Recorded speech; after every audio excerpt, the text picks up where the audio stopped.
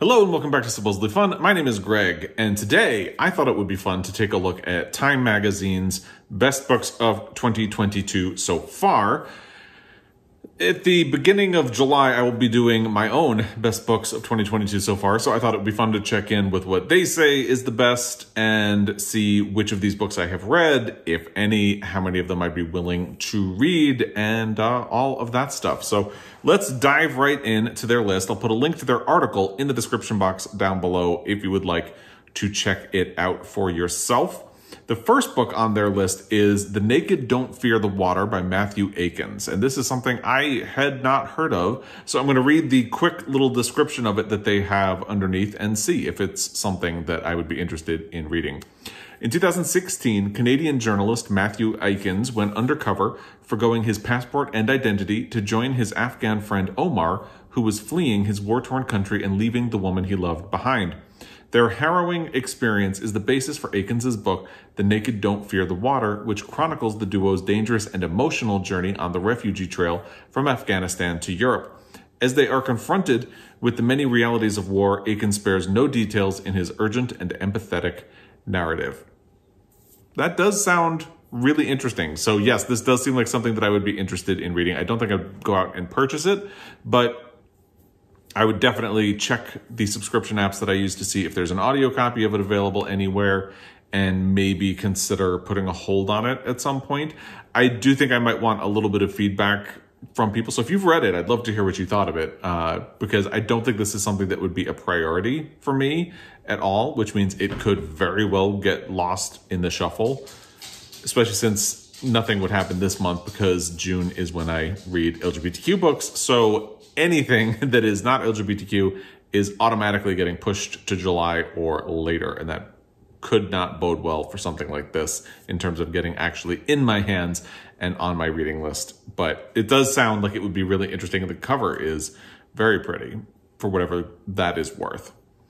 The next one is In Love by Amy Bloom. I have not read this. I remember seeing a blurb of it in the beginning of the year, but I'm going to read the quick thing that they have for it here. I have read a, an Amy Bloom book before. I think it was called Away. And I remember liking it, didn't love it, but liked it. So I'm open to reading another book of hers. This says The first pages of Amy Bloom's memoir set up the book's devastating ending. It's January 2020, and Bloom and her husband are traveling to Switzerland, but only Bloom will return home. Her husband plans to end his life through a program based in Zurich. Apparently, I did not read a blurb for this book because I feel like I would have remembered that. He has Alzheimer's and wants to die on his terms. Bloom introduces these facts swiftly and then packs an emotional punch. The next time she's on an airplane, she'll be flying alone. From there, Bloom details her husband's wrenching decision and all that led up to their trip abroad. Though In Love is rooted in an impossibly sad situation, Bloom's narrative is more than just an expertly crafted narrative on death and grief. It's a beautiful love letter from a wife to her husband, rendered in the most delicate terms about the life they shared together. That sounds like it would be really difficult, but beautiful. I can see where Amy Bloom, based on the novel of hers that I read, would be a great person to tell a story like this and do a really good job of it. It's kind of shades of the year of magical thinking, which is another really difficult read, but just beautiful. And if you haven't read it, I would absolutely recommend it. But I, again, I would probably read this before I would read the uh, Aikins book, but I'm not going to prioritize it. There's enough depressing stuff going on right now without me adding to it. So the likelihood that I would get to this is fairly small. I might have to wait until next year. And by then, I might have moved on to other things. So it's just the way it is. The next one is The School for Good Mothers by Jessamine Chan. This one I had seen, and I, I guess I kind of thought I knew what it was about, and then somebody started telling me about it, and I was like, wait a minute, what? and it does sound really interesting. So let's do their quick description of it first.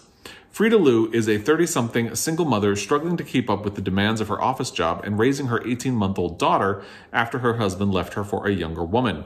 In Jessamine Chan's unsettling debut novel, we begin on Frida's worst day when her lack of sleep has caused a lapse in judgment and she leaves her baby at home alone for two hours. Soon, Frida is sent to a government run facility with other mothers deemed failures. by the state. Reminiscent of The Handmaid's Tale, this eerie page turner is a captivating depiction of a dystopian world that feels entirely possible. It's not only the gripping story of Frida's personal struggle, but also a thought provoking work of commentary on American motherhood. This is something I've really been thinking about reading ever since someone actually described the plot of the book to me, and I was like, wait a minute, what is this book about? And it does sound really interesting. It does sound like, given the current political climate, it might hit a little too close to home, but that's also kind of the point. So I have been kind of thinking about it, but I haven't actually started seeking it out. I think this is something that if it crosses my path, like if there's an audio copy available on a subscription app or something like that, I would very likely check it out and read it. But until that happens, I'm probably going to keep a little bit of distance. But if you have feedback on this book and you think I should change my mind and try to fit it in, because I have heard good things about it, let me know in the comment section down below because I could be persuaded to give it a try. The next one is The Candy House by Jennifer Egan. This is the sort of spiritual cousin to A Visit from the Goon Squad. Let's see what they say about it. One of the most anticipated books of the year, The Candy House, is Jennifer Egan's follow up to her Pulitzer Prize winning 2010 novel, A Visit from the Goon Squad. That book was hailed for its innovative structure. One chapter was written as a PowerPoint presentation, and the new narrative follows suit in its impressive construction. This time, Egan spins fresh commentary on technology, memory, and privacy through 14 in- interlinked stories. In them, a machine called Own Your Unconscious allows people to revisit any memories from their past whenever they want if only they make those memories accessible to everyone else. It's a thrilling concept brought together by Egan's astute hand, offering a powerful look at how we live in an increasingly interconnected world. I've heard very mixed things so far. So if you've read The Candy House, I would love to hear what your thoughts are in the comment section down below. I do have access to the audio of this book. The barrier for entry for me is that I do want to reread A Visit from the Goon Squad first. And now that we're into June, my Pride Month reading is kind of in the way of that. So I might do it in July. In fact, I had I thought I had an idea for what my next Pulitzer Prize book was going to be, and then I kind of realized that I would want to reread this, A Visit from the Goon Squad, before diving into the Candy House. So it's very likely that A Visit from the Goon Squad is probably going to be my next Pulitzer Prize book and then I'll get to the other idea that I had after that because I want to do a visit from the Goon Squad before I get to the Candy House, just so I'm kind of in the universe, even though it's not a direct sequel. I, I want to be in the headspace for it. And I've heard mixed things. I do worry that it's a book where the idea or the intention is going to be a lot more interesting than the execution but we'll see. And again, if you have thoughts, I would love to hear them in the comment section down below. The next one is Olga Dies Dreaming, and I am not going to attempt to pronounce the author's name. If I had been doing this in advance or preparing in advance, I would have looked up how to pronounce it. I didn't. I apologize. So I am just going to tell you that the book is Olga Dies Dreaming and put the cover so you can see the author's name. It's the summer of 2017 and Olga Acevedo is seemingly thriving. She's a wedding planner for the Manhattan elite and living in a posh and rapidly gentrifying Brooklyn neighborhood. The protagonist of this absorbing debut novel had humble origins as the daughter of Puerto Rican activists, raised by her grandmother in another part of the borough where she taught herself everything she needed to know to be where she is today. But in Olga Dies Dreaming, the reality of Olga's self made success is more complicated. She struggles with the loneliness that has accompanied meeting her lofty goals, and she's haunted by the absence of the mother who abandoned her family when Olga was just 12 years old. As hurricane season in Puerto Rico amps up, Olga begins to grapple with family secrets just as she falls in love for the first time. What ensues is thoughtfully depicted romantic comedy full of domestic strife, executed in Gonzalez's vibrant prose.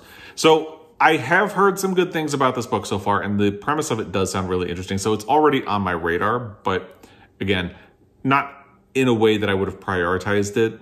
So now that it's been on a bit of a best of list, maybe I should rethink that and try to get to it this summer once I'm through Pride Month. But let me know what you think because I am definitely open to reading this book. I just don't know that I would try to rush to it.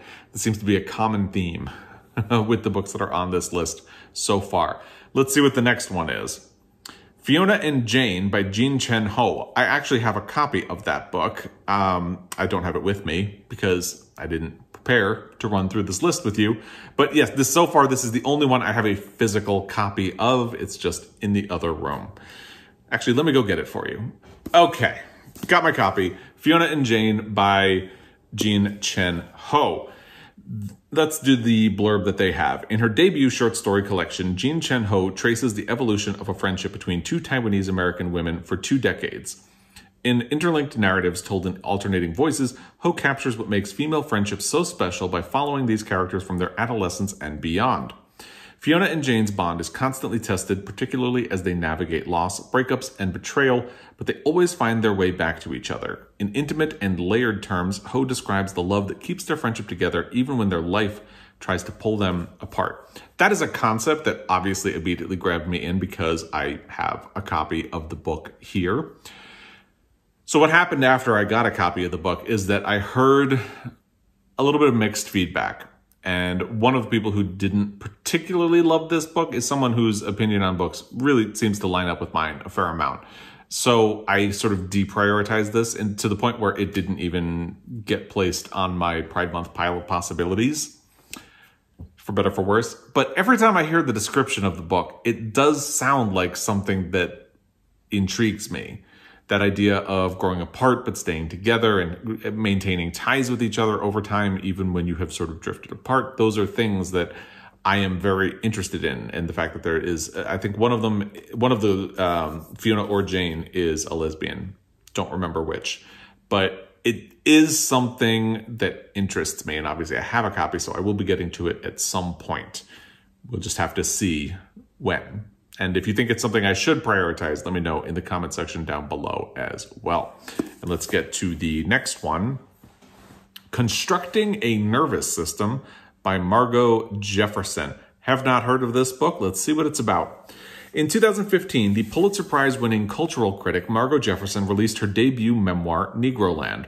In the award winning book, Jefferson reflected on her life as she reckoned with what it meant to grow up as a privileged black person in a wealthy area of Chicago crafting a searing examination of race and class in America. The author now returns with a bruising second memoir that goes beyond her personal story, beyond blending criticism and autobiography. Constructing a Nervous System is an exciting collection of Jefferson's thoughts and musings on the world, from her love of Ella Fitzgerald and Bud Powell to her own writing process.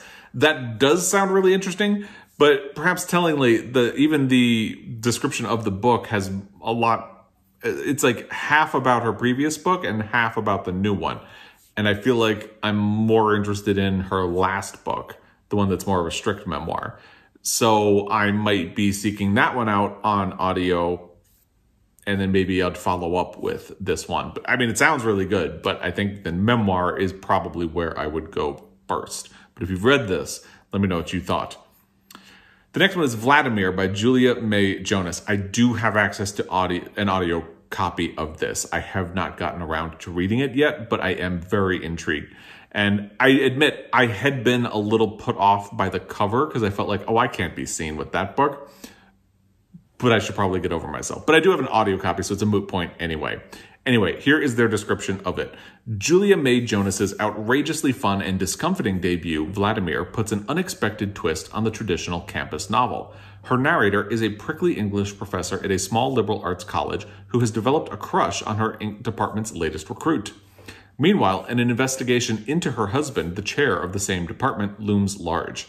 He's been accused of having inappropriate relationships with former students, but our protagonist could care less. As her feelings for the new hire enter increasingly dark territory, Jonas unravels a taut and bold narrative about power, ambition, and female desire.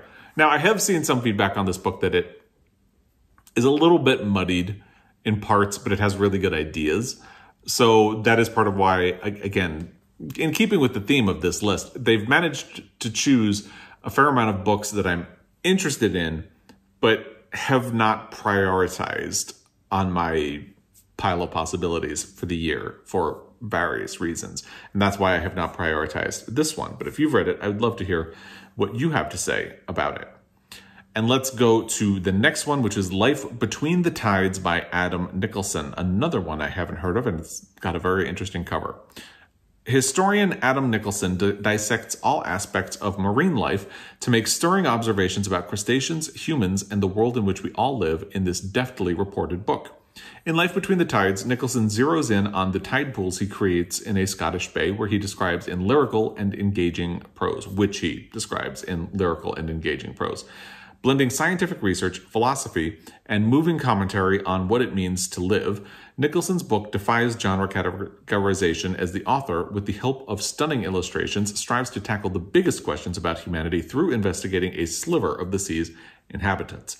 That is not the type of book I would usually gravitate toward, but last year for the uh, Montana Book Company's reading challenge, I got some recommendations for their science and nature prompt from Doris from Aldi Books, and she recommended The Life of an Octopus, and that is what I read, and it was fantastic. I really loved that book. And it does some of what this book is kind of saying that it would do. So I'm actually very intrigued, and I'm going to leave this tab open and see if that is available on any of my subscription apps because this audio seems like it would be the way to go for me. I do a lot of nonfiction on audio, so why would this one be any different? But yeah, that sounds very interesting to me. So far, that is probably the one that I would prioritize the most, and we'll see how that goes. Let's keep going. Young Mungo by Douglas Stuart. So I don't own a copy of this book, but I did read it, and I have a full review of it, which I'll put in the description box down below. I have a complicated relationship with it. Let's do their description of the book first. The latest novel from Douglas Stuart shares a lot in common with his first, the Booker Prize winning Shuggie Bain. In both, young men live in working class Glasgow in late 20th century with their alcoholic mothers. This time, the narrative focuses on the love story between two boys, Mungo and James, and the dangers that surround their romance. It's a piercing examination of the violence inflicted upon queer people and a gripping portrayal of the lengths to which one will go to fight for love. Again, I had very complicated feelings about this book. I think there is a storyline in it that goes too far. And I won't say anything more about that. My review's down below if you'd like. I don't do spoilers in the review, but I do talk a little bit more about my problem with it.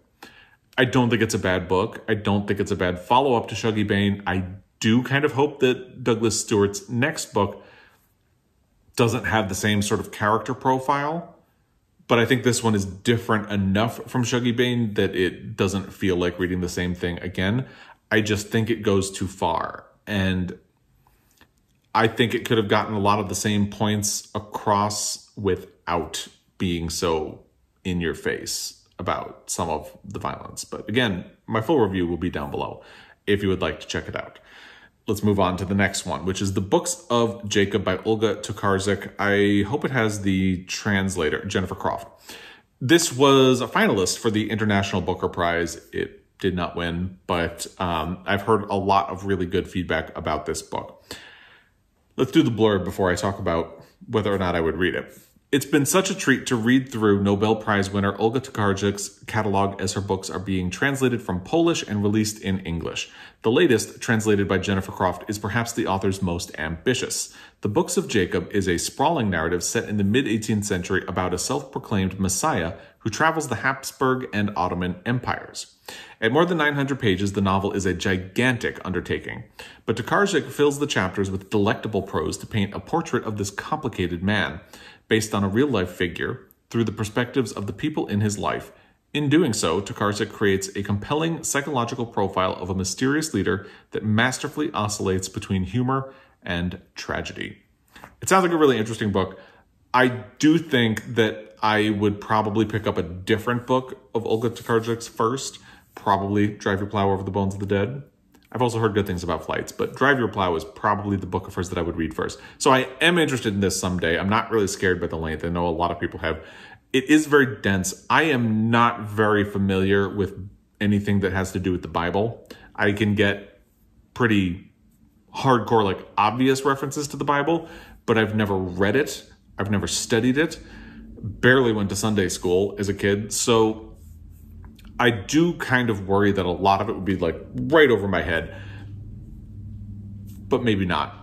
I haven't really heard too much about that from other people. So if you have thoughts, let me know in the comment section down below. But that I feel like I'm I am more, much more likely to do a different book by this author uh, before diving into the books of Jacob. Let's keep going. I don't know how many books are on this list, but uh, there is at least one more. Uh, it's Time as a Mother by Ocean Vuong. Another one. I don't have I have a copy of it. I listened to it on audio and I thought it was fine. Let's do the blurb. Ocean Vuong's second poetry collection finds the acclaimed writer wrestling with grief after he lost his mother to breast cancer in 2019. Like his novel On Earth We're Briefly Gorgeous, this collection is a tender exploration of memory, loss, and love. Through 28 poems, Vuong showcases his original voice as he asks pressing questions about the limits of language and the power of poetry in times of crisis. I am also someone who liked On Earth We're Briefly Gorgeous, but didn't love it. I thought some of the prose went a little bit too far, was maybe a little too obvious, trying a little bit too hard. And I definitely felt the same way about the poetry. And it didn't feel like, if you've already read On Earth We're Briefly Gorgeous, it did not feel at all like there was anything new or particularly interesting in Time as a Mother. That sounds really harsh, but there it is. Um, I have seen other people read it and like it, but it just apparently I don't really resonate with the material. Let's see. So that is it. That is the list. So yeah, I think the one that I would most likely get to that I haven't already is Life Between the Tides by Adam Nicolson. But let me know if you've read any of these books, what you think should have been on here. Uh, I'm going to say I uh, personally, I would put Don't Cry For Me by Daniel, Daniel Black on this list that was released back in January, I believe. And I really loved it. I don't think I've read anything else from this year that I would add. Um, Violets by Kyung Sook Shin, translated by Anton Hur. I, I enjoyed. I don't know that I would put it on like my top 10, but you'll find out for sure when I get to my best books of the year so far. Um, I think the only one that I would say I would add would be Don't Cry For Me by Daniel Black. That's something that I would really love to have seen here. But I'd love to hear what you think should have made it. If you have any quibbles with any of these selections, if there are any of these that you're immediately going to read, let me know all of that stuff in the comment section down below. As always, thank you for your time, and I will be back. Until next time, happy reading.